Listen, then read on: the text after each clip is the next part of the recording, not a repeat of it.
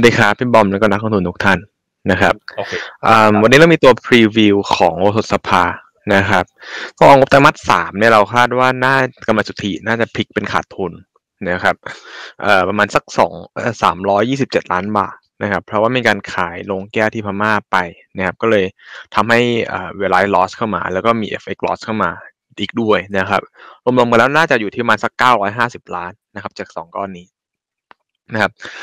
แต่ว่า core profit ถือว่ายังโอเคอยู่นะครับราคา core profit อยู่ประมาณห้าร้อยสี่สิบแปดล้านนะครับก็คือบวกได้สักประมาณสักแปดจุดสี่เปอร์เซ็นต์ year on year นะครับแต่ว่าลบประมาณสักสามสิบเก้าเปอร์เซ็นต์ Q on Q นะครับ overall business เนี่ยผมว่าดีขึ้นนะครับ ตามตัว core profit ที่ดีขึ้น year on year นะครับแต่ว่าเอ่อเรื่องของ Q on Q เนี่ยมันลดลงตาม seasonality นะครับเพราะแต่มาที่สามเนี่ยก็ไม่ใช่หน้าขายของโอสถสภาอยู่แล้วในในพม่านะครับ อ่แต่ gross margin เนี่ยขยายตัวได้ดีนะครับมาอยู่ที่สัก 36.7%นะครับบวกมาสัก 1.4 percentage point year on year นะครับแต่ว่าก็ลบลงสัก Q Q on Q เหมือนกันนะครับเอ่อ driver หลักๆเนี่ยผมว่ามาจากสองสองเรื่องนะครับก็คือยอดขายพม่าเนี่ยโตดับเบิลดิจิต year on year นะครับอ่าแล้วก็ product mix ในไทยก็ดีขึ้นนะครับล่าสุดที่ทางบริษัทแจ้งมาเรื่องของ market share ของตัว M Sparking เนี่ยก็อยู่สักอยู่สักประมาณสักหนึ่งเปอร์เซ็นต์นะครับเพราะฉะนั้นสองตัวนี้ทำให้ margin เนี่ยสามารถขยายตัวในแง่ของ year on year ได้ดีนะครับเเรื่องของ s n a เองเนี่ยก็เราคาดว่าน่าจะมีการ manage ได้ดีขึ้นนะครับ ถ้าเทียบเป็น ratio to sales เนี่ย ก็ลดลงประมาณสัก 0.4 percentage point year on year นะครับ แต่ว่าเพิ่มขึ้นประมาณสัก 2 percentage point Q on Q ซึ่งก็เป็นปกติอยู่แล้วนะครับ เรามองว่ามันมีพัฒนาการ อันหนึ่งที่ไม่ค่อยดีเท่าไหร่สำหรับงบไตรมาสนี้นะครับ ก็คือตัว domestic beverage เนี่ยมันลดลงมันมันมันลดลงทั้ง year on year แล้วก็ Q on Q นะครับเอ่อมาจาก 2 ปัจจัยนะครับอ่าหนึ่งก็คือเรื่องของน้ำท่วมนะครับ เราคิดว่าอุตสาหกรรมน่าจะได้รับผลกระทบมากกว่าเพื่อนนะครับ เพราะว่าในที่ประชุมเนี่ยทางผู้บริหารก็มีการแจ้งเพิ่มเติมด้วยว่าตัว network หรือว่ายอดขายผ่าน traditional trade ที่อยู่ในพื้นที่ที่มันโดนกระทบเนี่ยมันคิดเป็นสักประมาณสักหกสิบเปอร์เซ็นของยอดขายทั้งหมดนะครับซึ่งมันก็คือในโซนที่มันน้ำท่วมไม่ว่าจะเป็นภาคเหนือหรือภาคอีสานบางส่วนนะครับในขณะที่พื้นที่อื่นๆนะครับก็ยังมีการเติบโตเยือนเยียอยู่นะครับผลกระทบตรงนี้มันทำให้ market share ของ energy drink ของโอสถสภาเนี่ยลดลงประมาณสักหนึ่งเปอร์เซ็นต์เยียนเยียแล้วก็คิวออนคิว นะครับสาเหตุที่สองที่ตัวยอดขายเครื่องดื่มในในประเทศลดลงเนี่ยก็เป็นเพราะเรื่องของ destocking ของตัวซีวิตนะครับต้องว่าอ่าเออเขามีการล้อนสินค้าใหม่ออกมาครับไอตัวซีวิตที่มีเอ่อวิตามินซีหนึ่งพันมิลลิกรัมนะครับก็อยู่ในเฟสของการที่เอ่อกำลังเปลี่ยนจาก 200 ไปเป็น 1,000นะครับเพราะฉะนั้นอ่าจะทำให้ลูกค้าบางส่วนเนี่ยรอการซื้อนะครับอ่าไปซื้อในไตรมาสสี่อ่าเป็นเป็นการชะลอออเดอร์เฉยๆ นะครับอ่าโดยรวมเนี่ยเราคิดว่ามันมันก็มีบางกลุ่มที่อ่าค่อนข้างกังวลนะครับเรื่องการสูญเสีย market share ของฝั่งของ energy drink ด้วยนะครับแต่ก็คิดว่าอ่าเรื่องนี้กังวลว่าอาจจะเป็นเรื่อง permanent นะครับ เพราะว่าส่วนต่างเรื่องของส่วนต่างราคาเนี่ยทางอสถภาจริงๆก็เอ่ออัพราคาเป็นมามามาเป็น 12 บาทนะครับ คู่แข่งก็เอ่อยังอยู่ที่ 10 บาทอยู่นะครับ แต่เรามองว่าอ่า การที่อสถภาถ้าอสถภาจะแพ้นะครับ ผมคิดว่ามันควรจะแพ้ไปนานแล้ว ไม่ไม่ใช่มาแพ้ช่วงที่มันน้ำท่วมนะครับเพราะจริงๆ ต้องบอกว่าอสถภามันก็มีตัว 10 บาทอยู่นะครับ เพื่อดักกลุ่มลูกค้าที่แบบ price sensitive แล้วเราจะพยายามแบบเอ่อ transfer ไปเอ่อค่ายอื่นนะครับ ก็ก็มีตัวนี้ดักอยู่ แต่ว่าในมุมเราเองเนี่ยเรามองว่า market share loss ครั้งเนี้ยเป็นอะไรที่เอ่อคิดคิดว่าชั่วคราวนะครับ ไม่ว่าจะเป็นเรื่องของน้ำท่วมเองก็ตาม นะครับแล้วก็ตลาด energy drink เนี่ยที่เติบโตได้สักประมาณ 6%ในไตรมาสที่3เนี่ยเราคิดว่ามันน่าจะโตมาจากเรื่องของ value หรือว่าราคาขายนะครับก็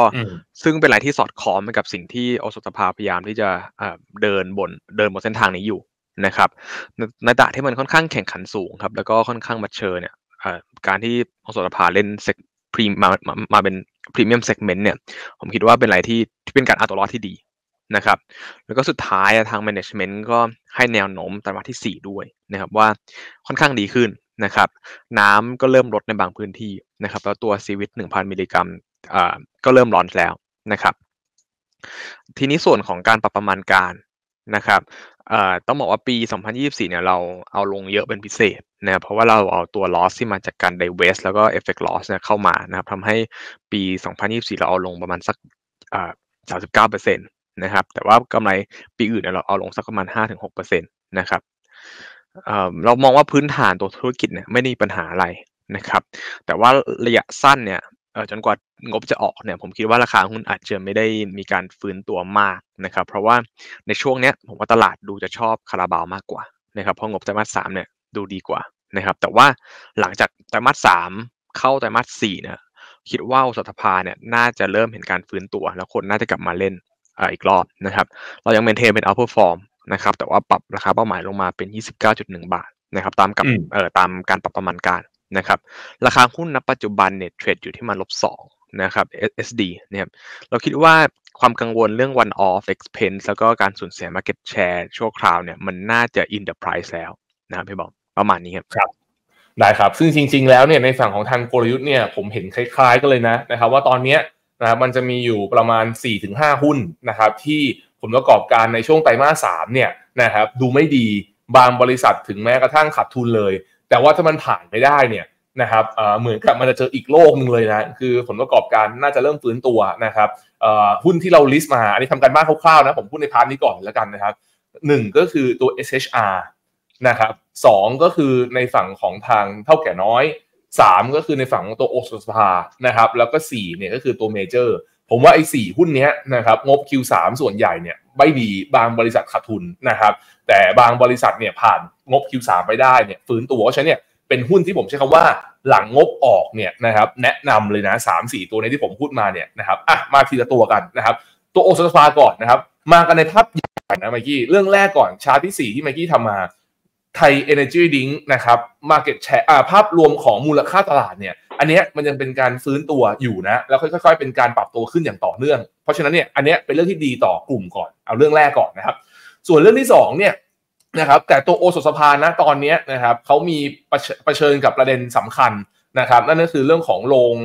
โรงงานของเขาที่พม่าที่สุดท้ายแล้วเนี่ยนะครับได้มีการพิจารณาในการปิดไปนะครับแล้วก็มันจะมีการ mark loss impair พอสมควรใน Q3 นะครับซึ่งหลังจากนี้เป็นต้นไปเนี่ยมันจะไม่ได้ขาดทุนแล้วนะ มันจะขาดทุนเป็น one time one off นะครับหลังจากนั้น Q4 จะเริ่มฟื้นตัวขึ้นมาคำถามเลยครับไมกี้ถ้าสมมุติว่างบ Q3 ออกแบบนี้นะครับ300กว่าล้านขาดทุนเนี่ยไมกี้คิดว่าเป็นโอกาสในการเข้าซื้อไหมนะครับเพราะอย่างที่เมื่อกี้พูดคือโอ้คาราบามันก็เจ็ดแปดสิบาทลอยไปแล้ว นะตัวนี้ตัวหนึ่งมันก็เหนือค่าเฉลี่ยไปแล้วตัวหนึ่งมันก็ลบ2 standard แล้วก็กองอยู่ในโซนข้างล่าง PE มันแบบ 19 เท่า 20 เท่าแบบเนี้ยถ้ามันงบ Q4 กับงบ Q1 ข้างมองไปข้างหน้าเนี่ยมันจะเป็นยังไง เพราะว่าพี่ดูจากการพรีวิวนะฮะในช่วงที่ผ่านมาก็จะเห็นได้เลยว่าโอ้โหเวลาเข้า Q4 Q1 นะมันจะเป็น seasonal high แล้ว earning มันจะกระโดดเลยเนี่ยอย่าง570 700 900 แบบนี้นะครับมายี่คิดว่าจะเห็นแพทเทิร์นแบบนี้ในช่วงของปี 25 บ้างไหมผมคิดว่ามีโอกาสนะครับ เพราะว่าจริงๆเอ่อ เริ่มต้นไตรมาสที่ 4 ก่อน ผมคิดว่าในแง่ของ year on year แล้วก็ Q on Q เนี่ยน่าจะเห็นการฟื้นตัวในงบไตรมาสที่4นะครับ year on year เนี่ยต้องบอกว่าทางบริษัททำทำได้ดีมากนะเพราะ gross margin ต้องบอกว่า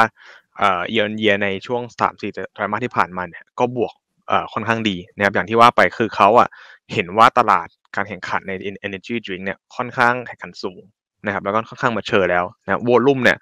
แทบจะไม่โตเลยในในในตลาดนี้นะครับเพราะฉะนั้นสิ่งที่เขาต้องการที่จะ ผลักดันยอดขายหรือในแง่ของกำไรแล้วกันนะก็คือการทำ high เน้น high margin product นะครับไม่ว่าจะเป็นตัว AM M Sparking ก็ตามนะครับ อันนี้ก็เห็นพัฒนาการที่ดีขึ้นนะครับ ตัว c w i t เองเนี่ยเขาก็เกณฑ์ market share มามาได้พอสมควรนะเพราะฉะนั้นผมว่าในแง่ของตรงเนี้ยเอ่อเครื่องดื่มในประเทศไทยที่ก็จะเป็น driver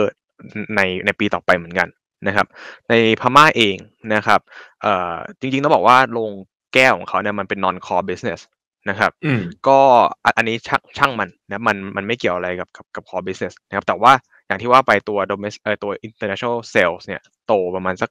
10% year on year ในไตรมาสที่3นะครับแล้วก็แนวโน้มในเติในเชิงของ year on year เนี่ยมีการเพิ่มขึ้นทุกไตรมาสนะครับเพราะฉะนั้นผมคิดว่าปีหน้าเนี่ยโอสถสภาก็น่าจะมีการเติบโตที่ดีนะครับก็ drive มาจากทั้งในประเทศแล้วก็ต่างประเทศ drive มาจากเรื่องของ margin expansion ด้วย นะครับพี่บอมแล้วก็ราคาหุ้นตอนเนี้ย ต้องบอกว่าผมว่าตลาดก็ค่อนข้างจะกังวลเกินไปนะครับ อย่างที่ว่าไปสองสองเหตุผลนะครับ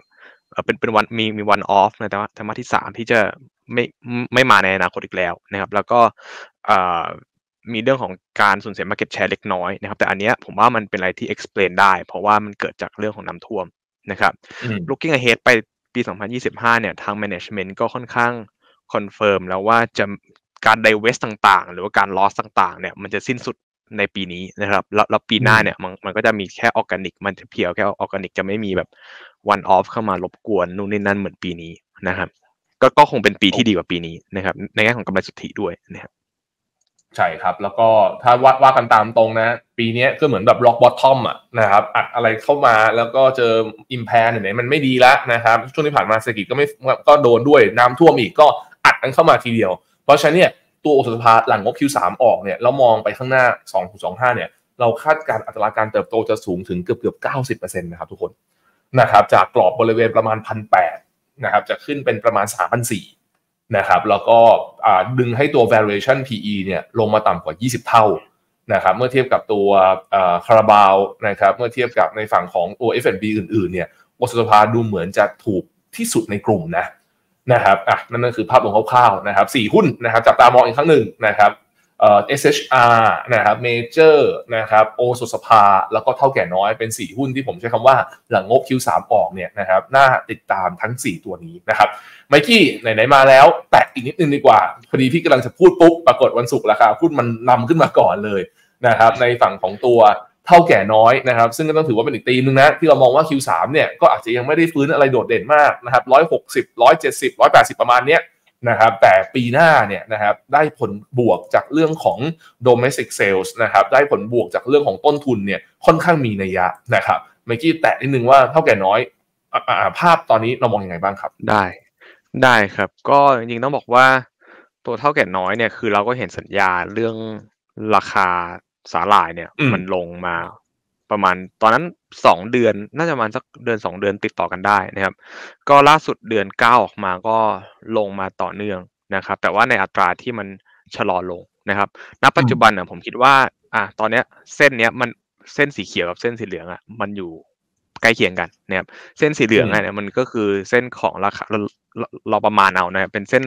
เอ่อระดับราคาของเถ้าแก่น้อยณปัจจุบัน นะครับต้องบอกว่าถ้าราคาสาหร่ายมันลงไปมากกว่านี้เนี่ยการที่เถ้าแก่น้อยจะ procure การเอาสาหร่ายในในใน inventory ต่อไปเนี่ยในปีหน้าเนี่ยเอาเข้ามาถ้ามันต่ำกว่านี้มันจะทำให้ทางเถ้าแก่น้อยเนี่ยได้รับผลประโยชน์นะครับ แล้วก็ต้องบอกว่าคือเรายังยังไม่ได้ทำ previewไตรมาสสามนะครับแต่ว่าแนวโน้มคร่าวๆเนี่ยคือยอดขายเนี่ยค่อนข้างมีการเติบโต นะครับ แต่ว่ามันจะไปตกมาตายอันเดียวก็คือในเรื่องของราคาสาหร่าย ที่ล็อตนี้นะครับแค่แค่ล็อตนี้เนี่ยที่มันจะเอฟเฟกไปถึงประมาณสักไตรมาสที่หนึ่งไตรมาสที่สองเนี่ยมันแพงขึ้นนะครับ แต่เราคิดว่าด้วยแนวโน้มเรื่องของภูมิเรื่องของอากาศนะครับ เรื่องของอุณหภูมิน้ำทะเลที่ที่เกาหลีเนี่ยคิดว่าปีผลการเก็บเกี่ยวรอบนี้เนี่ยน่าจะมีโอกาสที่ผลผลิตจะเพิ่มขึ้น นะครับเรื่องของเอลเอลนินโยเข้ามาเนี่ยน่าจะทำให้อุณหภูมิน้ำทะเลเนี่ยลดลงนะครับ ผลผลิตดีขึ้น คิดว่าราคาเนี่ยน่าจะลดลงในปีนี้ ซึ่งแนวโน้มคร่าวๆเนี่ยso far ในเรื่อง 3 เดือนที่ผ่านมาเนี่ยมันก็สอดคล้องไปกับทางนั้นเหมือนกันนะครับ ถ้าดู cycle ในอดีตเนี่ยก็เห็นได้ว่าช่วงปี 2017 เนี่ยมันก็เป็น cycle ประมาณนี้เหมือนกันนะครับ แล้วพอมันเข้าเอลนีโญเนี่ยมันก็มันมันก็ลงมา นะครับ เราคิดว่าโอกาสที่มันจะเป็น cycle เดิมเนี่ยนะมีอยู่นะครับ ก็ต้องรอติดตามไปไปเรื่อยๆนะครับ แต่ว่าในเรื่องของผลประกอบเอ่อเรื่องของประมาณการของเราเนี่ยเราก็ค่อนข้าง conservative ไว้อยู่แล้วนะครับ เราคิดว่าอ่าถ้าลงมาเนี่ยก็จะเป็น upside นะครับ ถ้าไม่ลงเนี่ยคิดว่าก็คงไม่ไม่ได้มี downside จากประมาณการของเรานะครับ ก็มีประมาณเท่านี้นะครับพี่บอล ได้ครับเมื่อกี้พี่ถามนิดนึงสมมตินะ เรามองกันต้นทุนสาหร่ายเมื่อสักครู่ที่ผ่านมาที่เราพูดถึงเนี่ยนะครับเอ่อมันสมมุติว่าเรามองแบบ conservative ก่อนรายได้โตนิดๆนะแต่ต้นทุนยังสูงอยู่ใน Q3 Q4 เนี่ยกำไรพี่ว่าคร่าวๆนะมันน่าจะวิ่งอยู่ประมาณแบบ150ถึง200บวกลบต่อไตรมาสนะแต่พี่ถามนิดนึงว่าผลบวกจากเรื่องของราคาต้นทุนสาหร่ายที่มันเริ่มลงที่เราอาจจะเห็นในช่วงปลายไตรมาสหนึ่งต้นไตรมาสสองอะ สมมุติเราคิดเป็นแบบนั้นน่ะถ้าเราก็เอายอดขายโตมาสักห้าเปอร์เซ็นต์สิบเปอร์เซ็นต์เข้าไปอะไอ้กำไรอะต่อไตรมาสที่มันจะลงที่บอททอมไลน์เลยอะจากไตรมาสหนึ่งประมาณร้อยห้าสิบสองร้อยอะมันจะขึ้นเป็นประมาณไหนอะไมคี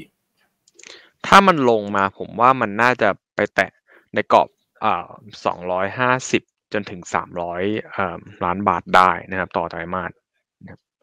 อืม ซึ่งก็ถ้ามองกันเลขกลมๆก็น่าจะกำไรน่าจะประมาณเก้าร้อยเกือบเกือบพันล้านเนาะถ้าถ้าพูดอย่างนั้นถูกไหมใช่ ใช่ครับ น่าจะแตะพันล้านได้เนี่ยถ้าราคาสาหร่ายลงมานะครับอืมนะครับอะก็เป็นอีกหนึ่งหนึ่งหุ้นนะครับที่เราใช้คำว่าน่าจับตามองหลังงบ Q3 ออก